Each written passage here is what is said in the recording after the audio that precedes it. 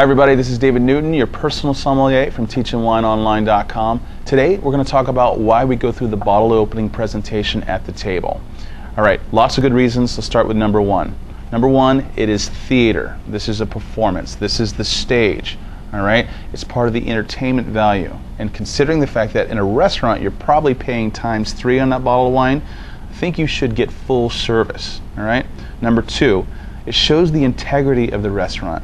Once again, you're probably paying times three on that bottle. Therefore, you want the integrity of the restaurant to come through, which is going to be shown when the server performs it correctly. All right. Number three, there is an issue with reading labels, and there's a lot of people making mistakes reading the labels, including the person that's about to serve you the wine. So you want to confirm and make sure that the right bottle of wine is being opened for you.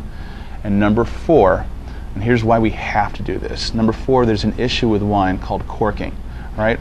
One in 22 bottles of wine are corked. Cork is a tainting issue. It's basically a compound that's functioning like a bacteria that is on the cork and it travels into the wine. Now, this doesn't happen all the time, but when it does, it'll affect the entire bottle of wine and then you're going to taste it, and it's what we're trying to identify when we're going through this whole procedure.